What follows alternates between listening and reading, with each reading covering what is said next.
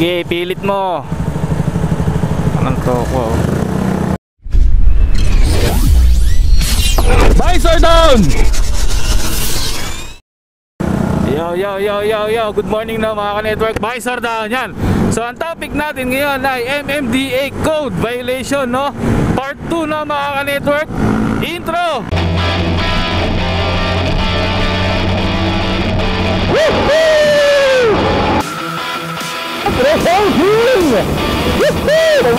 Visor down! You know, mga ka-network, visor down! 100! Woo! Meron na tayo yung ARCR no mga Yan o!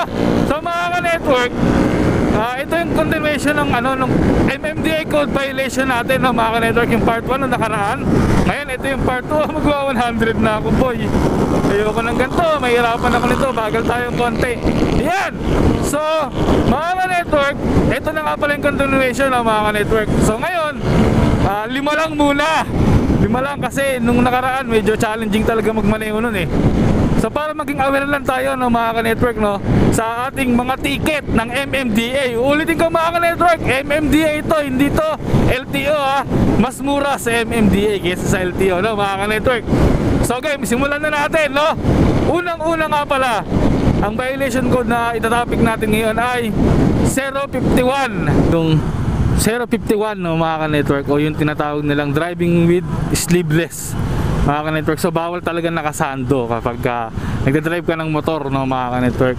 Ayun yung 051 ang violation niya sa first offense ay 100 pesos no mga ka-network. Sa second offense 100 pesos pa rin mga ka-network. Sa third offense ay 100 pesos pa rin no mga ka-network. Ayun so bawal talaga mag-drive kapag ka nakasando.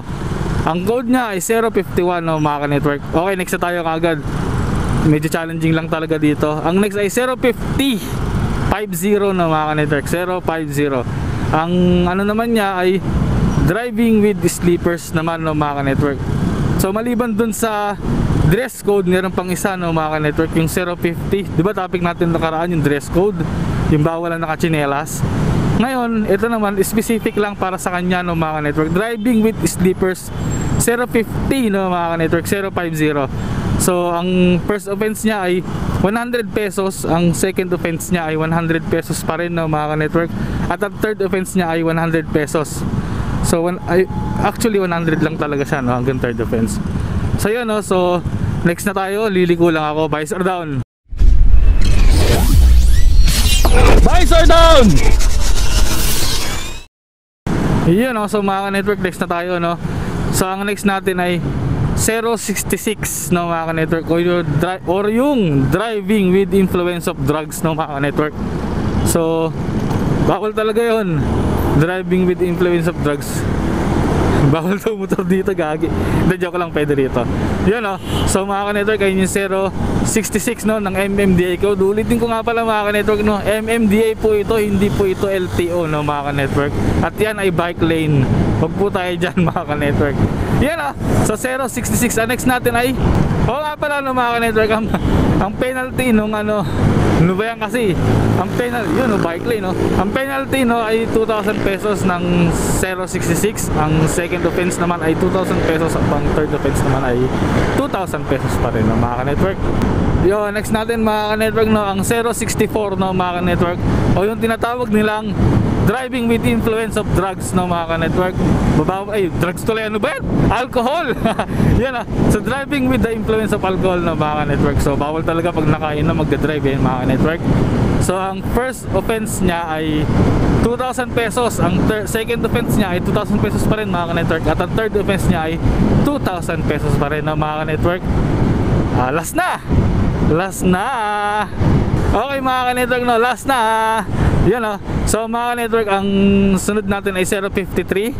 Ang driving without license no mga network. So bawal tayo mag-drive ng walang lisensya no mga network. Dapat talaga may lisensya tayo. Pribilehiyo natin yon. Kaya gamitin natin no. Ang first offense natin ay 750 pesos mga network. Ang second offense natin ay 750 pesos mga ka-network.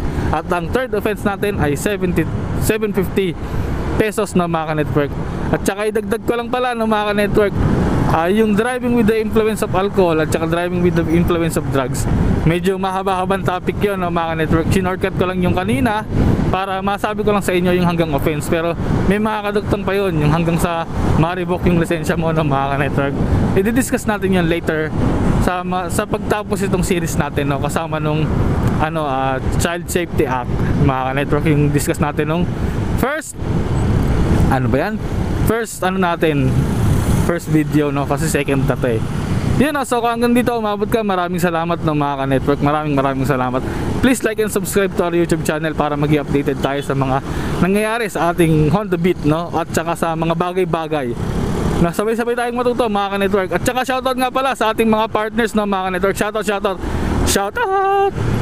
Chubbs Racing, no mga ka-network, Chubbs Racing yan. Kung talagang nasa Laguna kayo, malapit kayo sa Chubbs Racing, i-Chubbs na yan. No mga ka-network, SNY, mga ka-network, wala akong kode ko dyan ha. Nayuyuko lang ako, still tinagan ko yung odo ko. SNY, mga ka-network na SNY. Isang malupitan kay Boss Derek, no mga ka-network. At saka Vinjak, mga ka-network, Vinjak, no? All the way from Marikina, no? Vinjak, malapit talaga yun si Bossing Vinjak eh. Tapos next natin si W, cover up. Kung gusto mo magpaganda ng kotse, motor o kung ano man, i-cover up na yan mga ka-network. Cover up! At saka aking shop, no?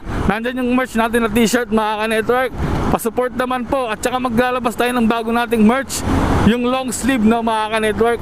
Long sleeve na, dry fit, no? Malabig sa katawan mga ka-network. Ito yun!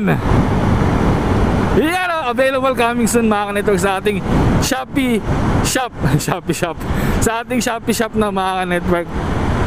Ah, ipopost natin yan dyan mga ka-network. So hanggang dito na lang. Maraming maraming salamat kung hanggang dito umabot ka ng mga ka-network. Ah, please like and subscribe na rin mga ka-network. So maraming salamat sa inyo. Peace out.